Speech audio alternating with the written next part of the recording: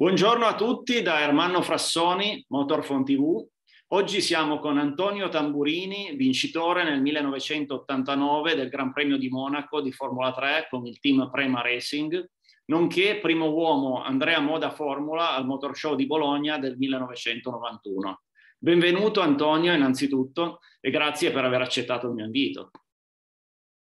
Grazie, grazie a voi, ci mancherebbe.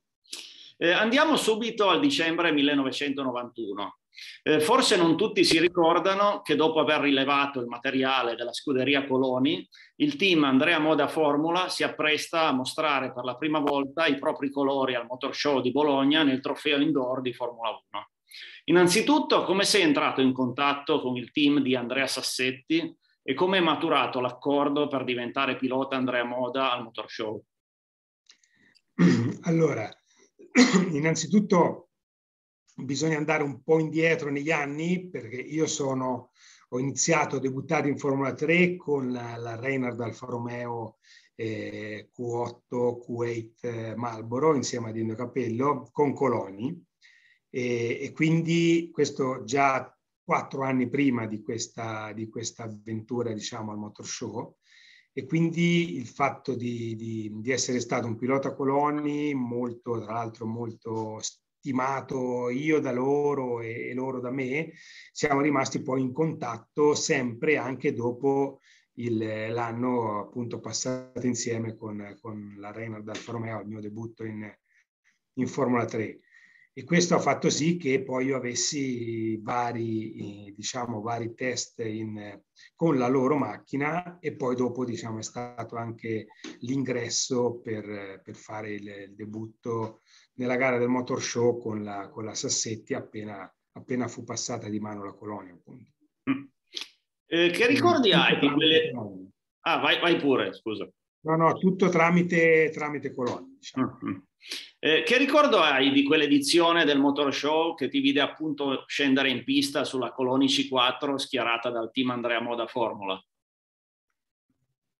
Ma allora, innanzitutto mh, mm, parliamo sempre eh, di Formula 1 e quindi quando anche tuttora quando ci troviamo con i piloti, diciamo,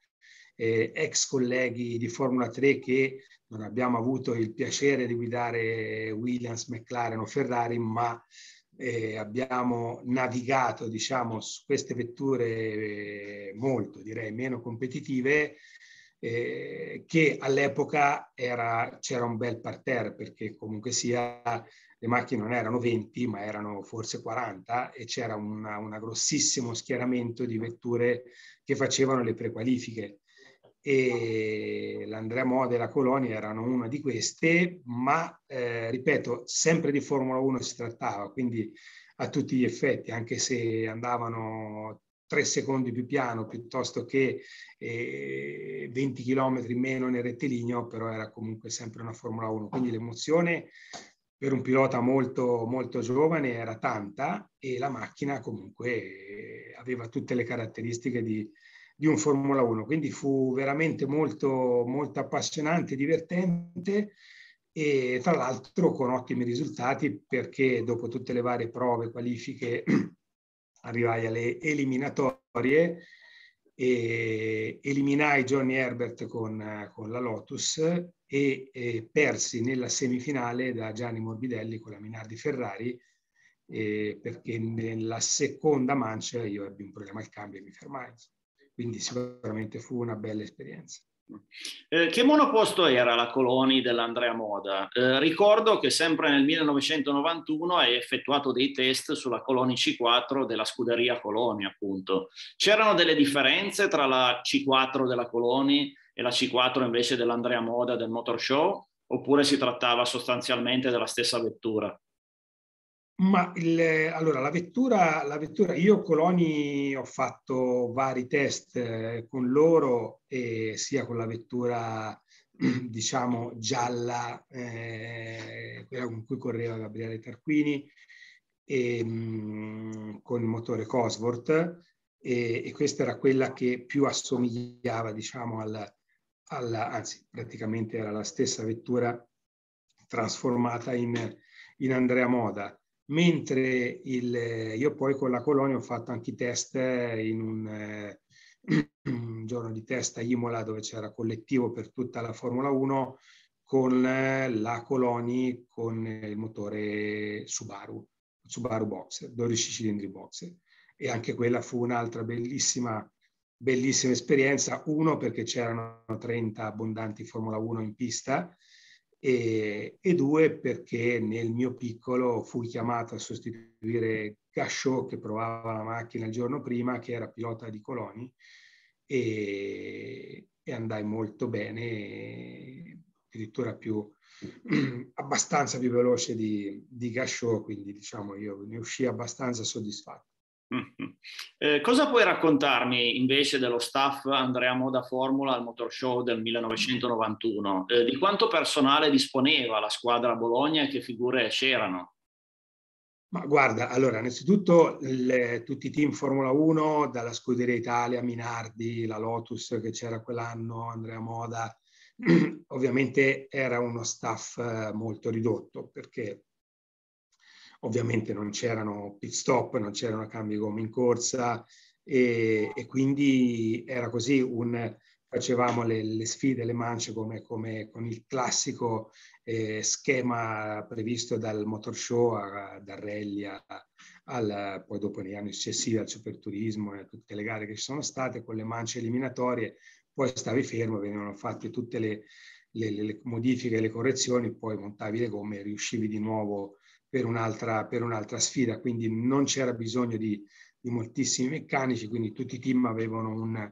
uno staff abbastanza risicato e io per quello che ricordo io avevo a che fare con un po' con tutti i tecnici che, che provenivano da Colonia. Quindi io sono rimasto, diciamo, dentro, sempre dentro casa e dentro il guscio del, del Coloni Team. Insomma. E quante persone c'erano all'incirca al seguito dell'Andrea Moda? Ma lì nel, nel, nell'evento, nella gara del motor show, sono, erano circa sotto le 10 persone. Mm. Ma questo non solo per l'Andrea Moda, ripeto, anche Lotus o, o Scuderia Italia o Minardi avevano più o meno le stesse, lo stesso staff, uno staff, uno staff che non aveva niente a che vedere con, con quello che seguiva i Gran Premi. E c'era una figura manageriale di riferimento lì a Bologna, a parte Andrea Sassetti, immagino?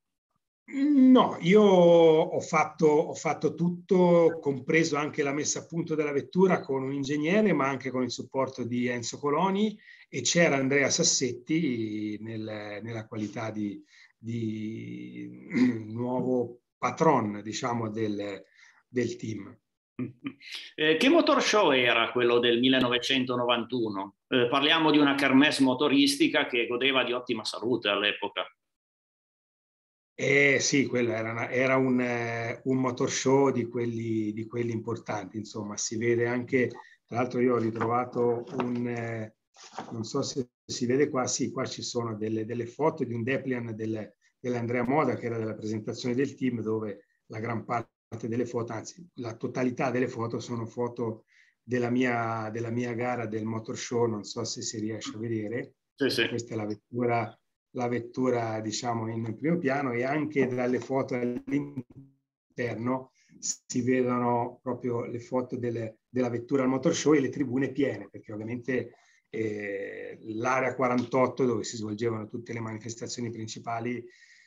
in quegli anni era veramente un, um, un'attrazione veramente, veramente importante. Insomma, c'erano, c'erano file a entrare, file a uscire, si bloccava, si bloccava Bologna fino dal, dall'ingresso dell'autostrada, quindi era, era sicuramente un, una manifestazione che muoveva grandissime masse proprio.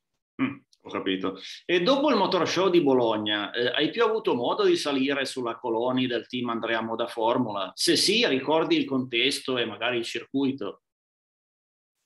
No, allora io non ho più fatto dei test con, con, la, con l'Andrea Moda, anche perché eh, diciamo che in quel periodo, eh, come ti dicevo prima, i team di Formula 1 soprattutto questi team di Formula 1 mh, vivevano dei momenti abbastanza difficili, praticamente facevano quasi esclusivamente pre-qualifying e, e, non, e non riuscivano a entrare dentro e quindi c'erano delle situazioni anche economiche abbastanza, abbastanza difficili. E io non so se facendo bene o facendo male, eh, avevo fatto mh, test con Coloni, test con, con, con, Andrea Moda, poi dopo fui chiamato dall'AGS mh, grazie al, a un ingegnere che era sempre il mio ingegnere, Peter Wiss, che era mio ingegnere dal, da Coloni, che era passato in AGS,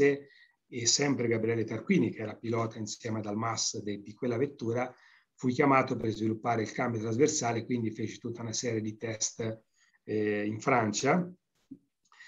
E, però contemporaneamente io avevo iniziato, dopo la Formula 3, Formula 3000, avevo iniziato a correre in superturismo e a fine 91 io eh, non, non, potendo firmare con, cioè la Camel si ritirò da tutte le competizioni mondiali e io avevo poi dopo firmato un contratto con la Rus Lamborghini, eh, però quando la Camel si ritirò io avevo un contratto per correre con Alfa Romeo con la 155 GTA nel campionato italiano Superturismo, le sole tre gare libere dal Formula 1 quando Camel mi comunicò che avrebbe abbandonato tutte le sponsorizzazioni, Formula 1, il Parigi-Dakar, Moto Mondiale, tutto quanto, io chiamai in Alfa Romeo, mi resi disponibile per le, per le gare, diciamo, per tutto il campionato, loro accettarono e quindi io dal gennaio 92 diventai pilota ufficiale Alfa Romeo a tutti gli effetti e mi sono fatto circa dieci anni di superturismo. Quindi non so se sinceramente dirti se mi sono precluso ulteriori possibilità magari di, di rimanere a, a, e forse trovare il buco giusto in Formula 1 oppure voltare pagina, prendere un, un, una cosa certa che erano le gare in superturismo e abbandonare diciamo, quelle che erano le ruote, le ruote scoperte per le quali avevo e, corso e battagliato fin da bambino iniziando a correre nei kart? Questa è una domanda che non avrà mai risposta. E quindi il tuo accordo con il team Andrea Moda Formula era solo per il motor show, diciamo? Solo per il motor show, sì. Poi ci furono, ci furono degli, altri, degli altri approcci per, per, degli altri test, per delle sostituzioni anche lì di, di, di piloti in corsa, però ripeto, io a quel punto avevo firmato un contratto come pilota ufficiale di, di Superturismo e insieme a Giorgio Francia, Larini e Nannini eravamo i quattro piloti del, del, del Superturismo di quell'anno e, e quindi no, non, non, avrei nemmeno potuto muovermi più di tanto, ecco, quindi um, perseguì quella strada e lasciai perdere tutto il resto. Quindi diciamo che l'Andrea Moda, o per meglio dire la Coloni dell'Andrea Moda, l'hai guidata solo a Bologna. L'Andrea Moda l'ho guidata sulla Bologna, mm. sì. Sì, sì, ho capito. Cosa puoi dirmi invece di Andrea Sassetti, il titolare del team? Andrea Sassetti è un personaggio molto, ma molto, diciamo, non so dirti un, un aggettivo per, per, definirlo. Sicuramente, ecco, posso dire che era abbastanza al di fuori del mondo della Formula 1. Quindi, diciamo, si era gettato in questa avventura eh, con, eh, con, rilevando la, la, la, la, colonia, sicuramente con molto, con molto entusiasmo, con uno spirito costruttivo, eh, però sicuramente non era a conoscenza del mondo della Formula 1 e nemmeno delle caratteristiche diciamo della Formula 1 tecnicamente era molto molto grezzo ecco come, come conoscenze eh, però era anche un personaggio sinceramente molto estroso e molto, e molto anche simpatico. Ecco. Eh, cosa pensavi al Motor Show di Bologna del 1991 di quella nuova squadra, l'Andrea Moda appunto, che si affacciava per la prima volta alla Formula 1? Che clima si respirava? Ma guarda, sinceramente, proprio per dirlo spassionatamente, pensavi eh, come sempre succede in questi casi quando vieni chiamato in una categoria superiore a, a quella con cui eh, eri abituato a correre e guidare, pensi andare più forte possibile e a fare, a fare un bel risultato. Questo valeva nei test con la Colonia, valeva per la gara del, del motor show. E sì, poi dopo ovviamente pensavi, avevi un occhio buttato avanti, però diciamo la concentrazione era totale su quello che, che era l'evento del giorno, di, quei, di, quel weekend, per fare meglio possibile e poi magari ti avrebbe,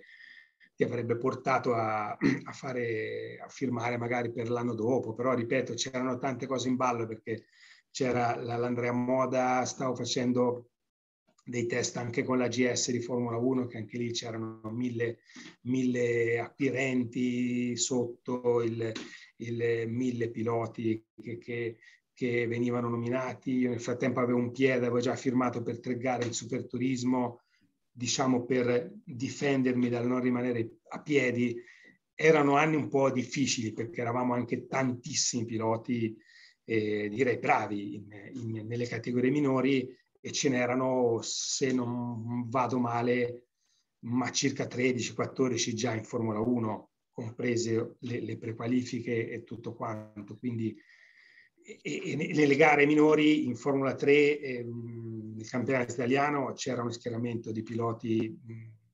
di, di, grido molto, molto valido. In Formula 3000 nel 91 aveva vinto il campionato Naspetti e avevamo vinto praticamente tutte le gare, eh, no scusa non aveva vinto il campionato Naspetti, aveva vinto,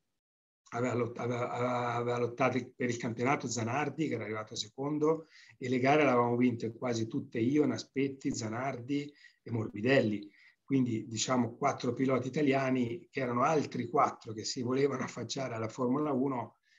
quando sopra ce n'era già più di dieci. Quindi sicuramente era una, era, era molto difficile ecco, per noi. Certo. Eh, poi tra l'altro nel 1992, appunto, tra i Gran Premi di Germania e Ungheria, eh, un articolo riferisce che tu o Franco Scapini potreste prendere il posto di Perry McCarthy eh, all'Andrea Moda Formula, sebbene il regolamento vieti di fatto eh, al team di innestare un nuovo pilota in squadra, visto che avevano già fatto sostituzioni. Eh, cosa c'era di vero? Erano solo rumors? Ma ehm, no, diciamo che poi le, c'erano, anche, c'erano, anche, piloti, fra virgolette, c'erano piloti paganti e non paganti, come, come un po' è sempre esistito in, in,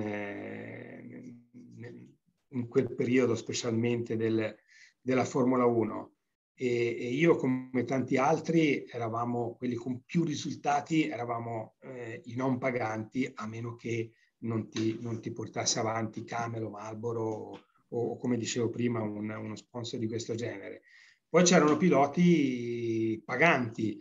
però spesso eh, con i piloti paganti questi team avevano, avevano delle, delle, discussioni, diciamo dei problemi e quindi minacciavano di lasciarli a piedi e a quel punto venivano allertati i, i altri piloti per, per, per sostituirli, però insomma c'erano già state delle sostituzioni. Io ho saputo di questi voci, di questi rumor, ma ripeto, io ero, ero un pilota ben felice di essere nel, nel team ufficiale Alfa Romeo e con, con cui stavo raccogliendo ottimi risultati e divertendomi e stavo bene. Insomma. E ti sarebbe piaciuto salire sulla nuova Andrea Moda S921, il cui esordio in Formula 1 eh, avvenne nel weekend del Gran Premio del Brasile del 1992? Ma senti, in una Formula 1 piace sempre, eh, piace sempre salire. La dimostrazione è che eh, io e tanti miei colleghi siamo saliti sul, su Andrea Moda, su Live, su Simtech, su, su qualunque tipo di, di, di su coloni, qualunque tipo di, di, vettura, diciamo, più o meno performante, che però, bene o male, ti dava la possibilità eh, cioè, di, di, di, comunque di metterti, di metterti in evidenza. È ovvio che, ripeto, l'affollamento eh, del, del, dello schieramento dei piloti italiani di quel periodo sicuramente tarpava un po' le ali, un po' le ali a tutti, perché in condizioni normali, ecco, se, se tu sostituisci un altro pilota, come ho fatto io con la Coloni Subaru e vai nei, test collettivi della Formula 1 un secondo abbondante più veloce di un pilota che già comunque aveva i piedi in Formula 1, normalmente qualche in condizioni normali, non di sovraffollamento, quale era, qualche antenna si, si, si addrizza. Ecco, invece in quel periodo era molto difficile. Ecco. Quindi sì, se venivi chiamato, rispondevi alla chiamata, cercavi di fare come al solito andare più forte possibile, però era veramente difficile, eravamo veramente tante macchine con il discorso delle prequalifiche e non, eh, non si arrivava mai all'obiettivo che uno si prefiggeva. Insomma. Mm. Eh, perché secondo te oggi c'è tutto questo interesse attorno alle vicende dell'Andrea Moda Formula, tanto che c'è chi sta preparando un documentario sulla storia di questa squadra? Sinceramente, sinceramente non lo so, c'è un po' di... Mm, sta, si sta ricreando un po' eh, tutto, no? il vintage sta rivenendo fuori su tutto. È di pochi giorni fa che sono stato contattato da dei signori inglesi che hanno eh, ripristinato a nuovo la, una BMW del team Bigazzi Montescelco, quale io avevo debuttato prima di, di, di iniziare a correre con Alfa Romeo. E, e quindi ecco, anche, anche, lì mi sono ritrovato chiamato, tra l'altro, per, per provare questa macchina, ancora dobbiamo accordarci. E, però ecco, un, eh, che questo è un segnale, sia le vetture di turismo che le, che le vecchie Formula 1 c'è un, eh, un revival. Nello specifico dell'Andrea Moda sinceramente non lo so, però, però, anche le Formula 1 come le Superturismo, come un po' tutte le auto eh, di, di, di, di, quell'epoca stanno vivendo una, una seconda giovinezza. Eh, al di là di come è andata a finire, eh, che team era la Larus in cui eh, teoricamente dovevi entrare nel 1992? Eh, tu tra l'altro ci sei mai salito sulla Larus o hai fatto magari solo il sedile? Io alla Larus ho fatto soltanto il sedile perché avevamo raggiunto l'accordo, cioè avevo, ave, aveva la Camel raggiunto l'accordo proprio in extremis e anche lì il team, la Larus Lamborghini, era uno step eh, superiore, era un po' mh, mm, a tutte quelle che ti ho nominato prima, e ovviamente non era a livello di, di, di Ferrari, McLaren o Williams, eh, però diciamo era una, una, vettura che dalle prequalifiche si tirava quasi sempre fuori. E ovviamente io ho corso, ho vinto Monte Carlo con Camel, ho corso in 3000 con Camel e ero eh,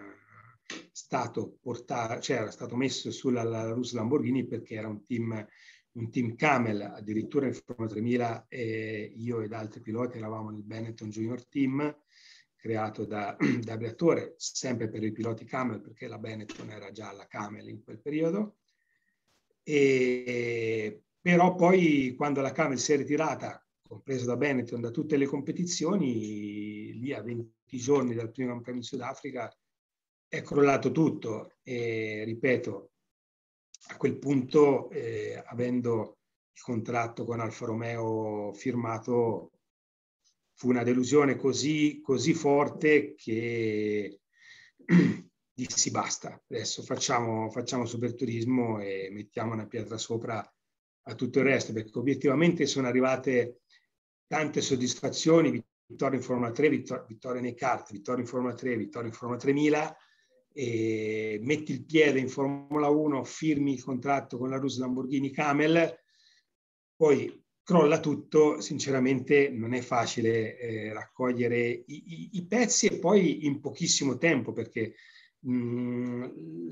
l'annuncio di Camel fu a 20 giorni dal primo Gran Premio in Sudafrica, ma anche la prima gara del superturismo non è che, non è che fosse stata molto lontana, insomma, quindi eh, dovuto ricomporre tutto in, in, poco tempo e per fortuna poi è partita diciamo la, la, la, la seconda vita, quella che ha portato in superturismo con altrettante soddisfazioni e vittorie. Mm, chiaro. Eh, abbiamo detto dei tuoi test per Coloni e AGS. Eh, cosa puoi raccontarmi di queste due squadre? Da una parte appunto abbiamo eh, il team di Enzo Coloni, e dall'altra eh, la GS che nel suo ultimo periodo in Formula 1 avrà una proprietà italiana con Patrizio Cantù e Gabriele Raffanelli. Sì, io in realtà ho fatto questi test, eh, questi test l'anno prima che eh, venisse eh, acquistata da, da Patrizio Cantù e Gabriele Raffanelli. Tra l'altro Gabriele Raffanelli era il, il proprietario assieme a Bigazzi del team Bigazzi che ti dicevo prima, con la BMW Montescel con cui ho debuttato in, in Superturismo, quindi erano tutta una serie di, di incroci. E, però ecco no, io ancora la proprietà era, era francese quando io ho fatto il, il, quei test lì. E ripeto, ci sono andato a finire grazie a, sia a Gabriele Tarquini stesso, con cui eravamo eh, amici perché comunque correvamo con Calicart eh, quando eravamo molto, ma molto, molto più giovani, eh, già nei, nei kart, lui nel 125 e io nel 100, eravamo piloti ufficiali della Calicart, quindi eh, lui, lui, era in Formula 1 e io ero stato pilota di Peter Wyss, ingegnere, che era il suo ingegnere capomacchina in AGS,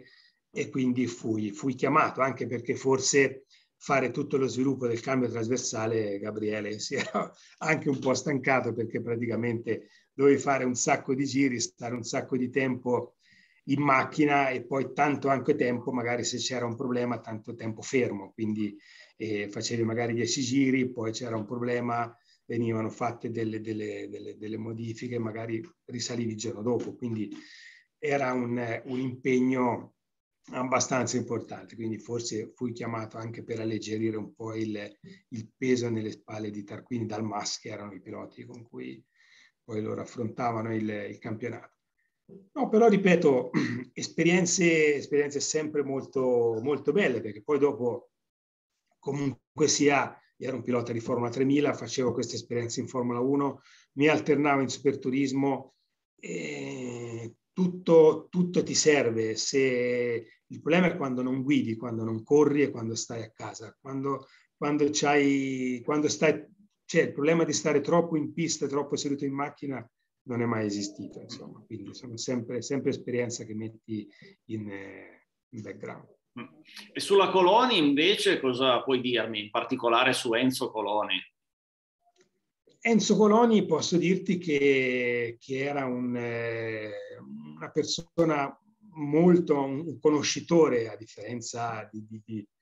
di, magari di quello che era il team poi di Andrea, Andrea Moda. Enzo è un conoscitore di, tecnica, di macchine, eh, sopraffino. Eh, lui, lui, ha corso, ha vinto in Formula 3, quindi sa di cosa parli e poi aveva acquisito in tutti gli anni con dei team vincenti di Formula 3 un'esperienza molto molto profonda. Quindi riusciva a vedere, mentre vedeva la macchina girare, quando tu ti fermavi e parlavi con lui, sicuramente sapeva, sapeva tecnicamente di quello, di quello che, che, stavi parlando, di quello che erano i tuoi, i tuoi problemi. Quindi lui è stato contento di, di avermi in questi test sia con la Coloni Cosworth quando addirittura il circuito di Magione, quello vicino alla loro factory, e abbiamo fatto diversi test lì, sia quando mi ha chiamato con, con la Coloni Subaru, sia quando ci siamo poi ritrovati con l'Andrea Moda al Motor Show. E poi dopo, per il resto, come, come tutti in quel periodo, a,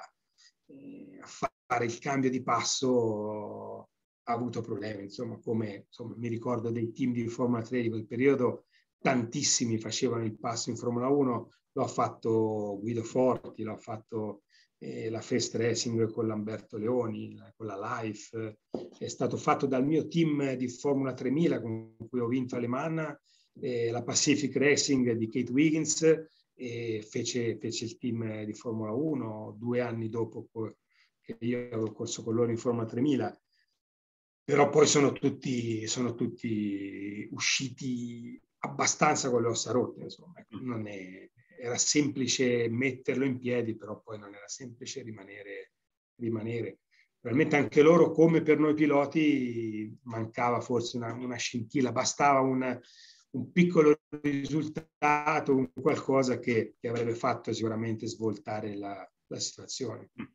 Certo. E Enzo Coloni possiamo dire che è stato un po' il tuo contatto per disputare il Motor Show di Bologna con l'Andrea Moda nel 91? Assolutamente sì, assolutamente sì. Ritengo che io fui chiamato un po' dal, dall'entourage dell'Andrea Moda, e, e, però ecco, non sono certamente, sicuramente convinto che, che fu, Enzo, fu Enzo Coloni a, a suggerirmi, diciamo, per, per quel tipo di,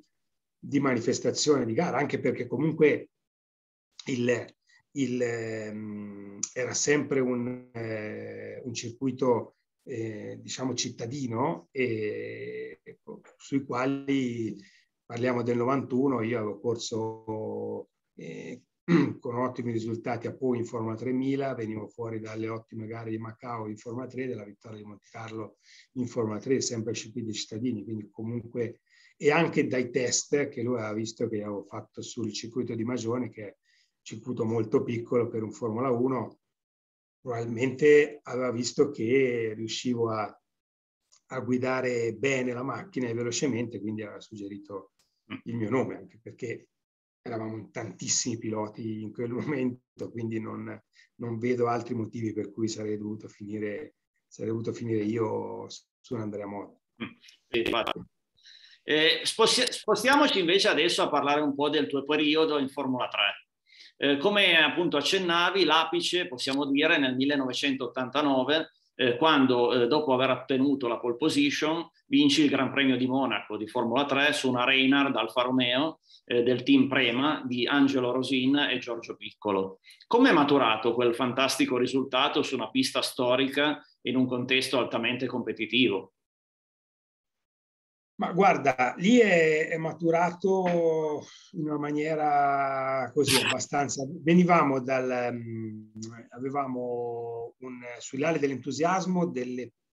prime due vittorie nelle prime due gare del campionato italiano di Formula 3. Quindi io ho fatto le prime due gare, le ho vinte tutte e due, poi siamo andati a Monte Carlo eh, con questa Reynard eh, Alfa Romeo. La Reynard era un po' una cosa un po' strana perché nel campionato italiano erano anni dominati dalle, dalle vetture dell'ingegnere Dallara. E uno perché erano,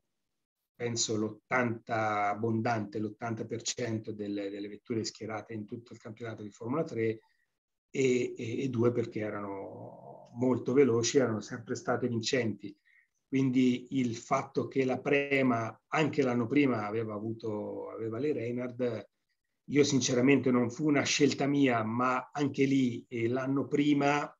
eh, fui scelto a Imola, che ero in pole position, lì c'erano i dirigenti Camel che stavano mettendo in piedi il, il team per far debuttare già Villeneuve l'anno successivo e quindi eh, probabilmente volevano mettere un pilota esperto e, e, veloce, io esperto lo ero perché era il mio terzo anno di Formula 3, veloce perché in quella gara di Imola, era l'ultima gara dell'88, io ero in pole position e quindi non so se per quel motivo lì oppure perché magari ovviamente consigliati anche da, dalla, dalla Prema con, con, la quale avevano già definito probabilmente il programma dello, del, dell'89 e io fui contattato già in quella gara lì a Imola e, e poi trovammo, trovammo l'accordo e fui ingaggiato per, per l'anno successivo. Quindi andammo a Monte Carlo e fui subito veloce fin dall'inizio. Angelo mise, mise in piedi un, appunto una macchina veramente, veramente formidabile e quindi diciamo che dominai perché feci una pole position con quasi mezzo secondo sul secondo. E in gara se ebbe qualche problema avevo un'altra Reynard Marlboro però non Camel di Andrea Montermini che è stato dietro attaccato per, per tutta la gara e anche se il giro più veloce lo fece Riccardo Aidel però diciamo ce la siamo giocata io e Montermini per tutta la gara avevo un po' di problemi sulle gomme anteriori però sono riuscito a portarla a, portarla a casa e sicuramente è stata una una gran, gran soddisfazione. Certo. E dopo il clamore della vittoria a Monte Carlo in Formula 3, hai ricevuto delle offerte magari per passare subito in Formula 1 oppure no? Ma guarda, anche lì, eh, ti ripeto, c'è stato, secondo me, mh, ho e abbiamo subito tutti quanti lo stesso problema che ti accennavo prima, cioè l'affollamento del, eh, del, dei piloti italiani già presenti in Formula 1 e comunque un, eh, un netto vantaggio dei piloti, dei piloti stranieri con, con uh, i team inglesi, perché poi i team inglesi qualcosa di francese che erano diciamo i, i dominanti in Formula 1 sempre, ma che in quel periodo in particolar modo, sicuramente ci ha, fatto, ci ha creato delle, delle difficoltà. Tant'è che a Monte Carlo, quando ho vinto, c'era, c'era tanti piloti, a cominciare da, da Mika Hakkinen, e, ma anche gli stessi, gli stessi tedeschi, Schumacher, Wendlinger e Frenzen, che anche lui era a Monte Carlo quando ho vinto io, e anche in Formula 3000 con noi, però a un certo punto furono presi tutti e tre e vennero messi eh, sulla Mercedes di, di, di gruppo C. E a noi, noi non abbiamo, noi italiani non abbiamo mai avuto diciamo, sbocchi diversi da, dall'essere presi magari chi da Marlboro, chi da Camel o da eventi particolari, singolarmente di, essere, di aver trovato uno sbocco in Formula 1. Quindi ti dico, anche in, in Formula 3, dopo la vittoria a Monaco, sinceramente non ci sono stati dei grossi, dei grossi contatti. Io ho portato avanti il mio cavallo di battaglia, che era, era questa, questa, questo essere pilota Camel, quale hanno poi portato avanti due stagioni in Forma 3000, la seconda con Pacific Racing, che sinceramente aveva portato poi i suoi risultati, perché io ero pilota Camel e, e, e era venuto fuori poi la firma con, con, un team satellite Camel che era la Russa Lamborghini. Mm. Poi dopo non si è chiuso il cerchio. Certo. E chi erano i tuoi avversari più temibili quando gareggiavi in Formula 3? Eh, Formula 3, se prendi, se prendi un, uno schieramento di, un, di una gara dell'89, sinceramente ci sono dei piloti mh, da leccarsi baffi che poi ho ritrovato in Formula 3000, qualcuno lo, lo ritrovi negli schieramenti di Formula 1 e, e, poi ci siamo ritrovati poi in superturismo, ma insomma, se ti, dico, se ti dico senza volerne dimenticare nessuno, ma già dirti eh, Morbidelli, Naspetti, Giovanardi, Zanardi, eh, mi fermo qua, però insomma c'era un, uno schieramento veramente di piloti veramente vari. Un bel parterre, diciamo, sicuramente. Sì, guarda, al, se tu prendi delle, delle, degli schieramenti nelle piste piccole dove si qualificavano anche lì in Forma 3, ripeto che lo stesso problema c'erano quasi 40 macchine, in, nelle piste corte tipo Varano de Melegari o appunto Magione si qualificavano 14 macchine, le altre dovevano fare il, delle, delle batterie di ripescaggio per avere accesso alla finale. Ecco, tu pensa che io ho avuto la fortuna di non cascarci mai, ma a rotazione tantissimi piloti, anche molto bravi, sono andati a finire nel ripescaggio e, e magari non qualificati. Lo stesso mio compagno di, di allora, Jacques Villeneuve, anche se era il primo anno, quindi ovviamente con tutte le scusanti del, del caso, però mh, bastava un, un, decimo, un errore nel, nel, nel, giro di qualifica che andava a finire nel ripescaggio, perché eravamo in 40 e ne passavano 14 quindi era veramente un campionato super competitivo. In Formula 3 non è poi arrivato il titolo nel campionato italiano. Cosa è mancato per raggiungere anche questo traguardo? Eh, lì è mancata, è mancata diciamo, un po' di, di, costanza, di rendimento durante la stagione, perché poi diciamo che ce lo siamo giocati io e Gianni Morbidelli sia l'italiano che l'europeo, perché poi io sono vice campione italiano e vice campione europeo. E, però diciamo che io abbiamo avuto un, un, grosso problema nella fase centrale della stagione, perché siamo partiti vincendo tutto, due gare del campionato e Monte Carlo, e poi dopo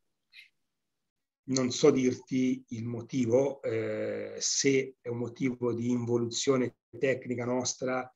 o se eh, ci sono stati eh, altri motivi che io non, non, ne sono a conoscenza, però abbiamo cominciato ad andare in realtà più piano e quindi, e quindi non abbiamo fatto più primo secondo, ma abbiamo fatto dei quarti, quinti posti, sempre ovviamente nel, nel, nella parte alta del, del, dello schieramento e della classifica,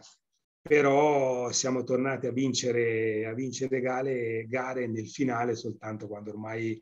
eh, Gianni Morbidelli aveva vinto il campionato. Quindi eh, ci siamo presi il, il secondo posto all'italiano, all'europeo e, e, la vittoria a Monte Carlo e sicuramente una stagione, una stagione brillante sia per noi che per, che per Camel, che fortunatamente poi ha mantenuto diciamo, la sponsorizzazione per gli anni di Formula 3000. Eh, alla Prema in Formula 3 eh, hai diviso il box con un certo Jacques Villeneuve, futuro campione del mondo di Formula 1 con la Williams nel 1997. Eh, come erano i rapporti tra di voi e cosa puoi dirmi del figlio del grande Gilles?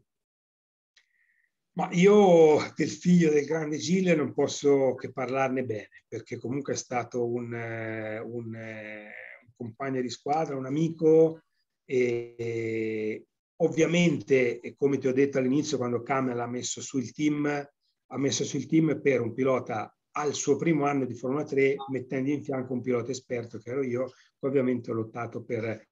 per la vittoria. Lui non veniva dai kart, ma aveva fatto soltanto delle gare con eh, un Alfa 33 nel campionato turismo, quindi non aveva esperienza, io per dire venivo da dieci anni di kart di go-kart a livello di campione italiano, europei, ero campione italiano e mondiali quasi tutti gli anni. E lui non avendo fatto questo, immagino che possa essere stato in, in forte difficoltà. Abbiamo fatto diversi test pre-campionato, ma non bastano per, per, per diventare pilota. Molti l'hanno criticato per quegli scarsi risultati fatti eh, nell'anno in cui era, era mio compagno di squadra, però io posso soltanto dire che questo era l'anno 89. Nel 97, se non sbaglio, quando ha vinto il mondiale, eh, lui è venuto, abbiamo fatto una grossa festa qua eh, dove abito io, e a, a festeggiare la vittoria del campionato di Formula 1. Quindi tu considera che dall'89 al 97 ci sono soltanto otto anni. E lui in questi otto anni si è fatto tutta l'esperienza in Formula 3, è andato a correre in Giappone, ha vinto, ha vinto la, poi è tornato negli Stati Uniti, ha vinto la, la Mini Indy, Formula Mini Indy, ha vinto Indianapolis, è venuto in Formula 1 e ha vinto il campionato del mondo. Quindi sinceramente non, non eh, suggerirei a, a, chi, a, chi, ha mosso diciamo, delle, delle critiche per, per l'anno o gli anni la, in Formula 3 di Jacques,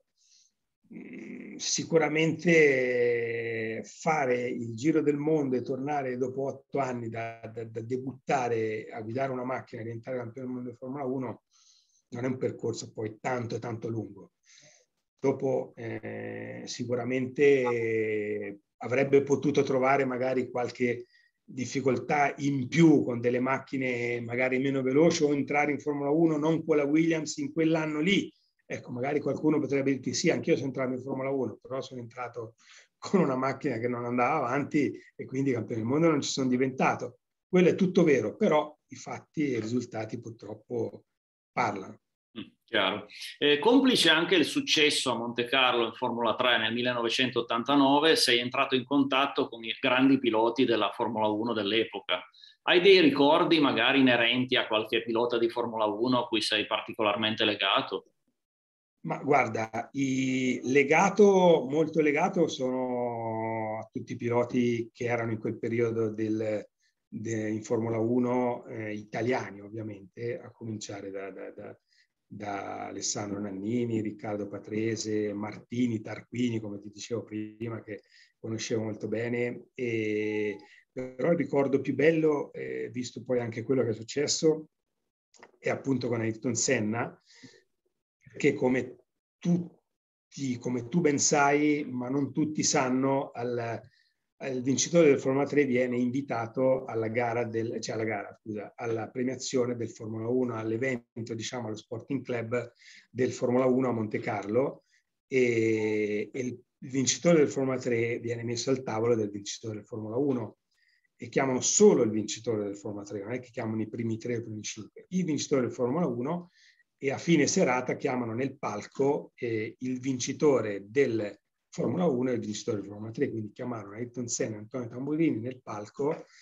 eh, con, con, uno smoking a noleggio preso dalla mamma di Jacques Villeneuve che mi aveva aiutato a far riaprire un negozio per noleggiare uno smoking perché ovviamente non l'avevo. E ti trovi nel palco con Ayrton Senna e Ray Charles che suona il, il piano e i fuochi d'artificio che partono sicuramente è un, un bel ricordo, insomma, una, una, bella cosa. Poi da lì diciamo che mh, ho avuto la possibilità di incontrare di nuovo alle gare di Formula 3000 concomitanti con il Formula 1 e Ayrton Senna che si è sempre poi eh, rilevato una persona splendida perché era il primo a, a saltarti e addirittura una volta si è messo a parlare con il mio ingegnere di, di, cose tecniche della Formula 3000 rispetto alla Formula 1, quindi un appassionato vero non solo per dicerie, ma proprio te lo posso confermare. Eh, perché poi nel 1992 eh, hai scelto la strada del superturismo italiano eh, con l'Alfa Romeo e il Jolly Club inizialmente? Non c'era per esempio la possibilità di ritentare con la Formula 1 nel 93? Ma no, perché quando, quando fai un passo del genere che abbandoni, ci, ci, sono state tante cose, in parte l'ho già spiegato prima, e ci sono, c'erano tante, tante difficoltà. La formula, la, addirittura c'era anche, eh, io ero stato chiamato in Giappone dal, dal team Le Mans per la Formula 3000 giapponese, che era un campionato anche quello molto vicino alla Formula 1 per il Giappone, limitato al Giappone, però molto molto importante dove i piloti erano ben, ben pagati e dove peraltro è andato alcuni miei mm, colleghi, andò Marco Apicella, Mauro Martini, andò anche Jacques Villeneuve poi dopo, dopo l'esperienza in Formula 3 italiana. E, e, però non lo so, ripeto, sono decisioni che prendi abbastanza velocemente. Io avevo iniziato già a correre in superturismo con BMW e avevo vinto, era andato subito bene, non sempre i piloti di Formula si trovano bene in superturismo, quindi mi ero visto questa, giustamente tra l'altro, visto poi quello che è successo, questa carriera di superturismo davanti e avevo del, da, da, da, cambiare del, delle cose certe per l'incerto, cioè in superturismo avevo contratti, richieste e, e contratti ovviamente remunerati e un, diciamo, la possibilità di, di, andare avanti nel tempo. Non sapevo che avrei corso dieci anni in superturismo, ma sicuramente nemmeno uno. Di là avevo tutte cose che mh, non sapevo, eh, in Giappone era ben remunerata anche lì, però tutte le altre strade non sapevi né eh, quanto potevano durare né che risultati avevi e, e, e quindi scelsi la strada del superturismo. E come andò la successiva esperienza con il team Nordauto di Mauro Sitz e Monica Bregoli? Nel 94 hai sfiorato il titolo italiano Superturismo e hai corso per loro anche nel 95, 97 e 98. Sì, è andata, è andata molto bene perché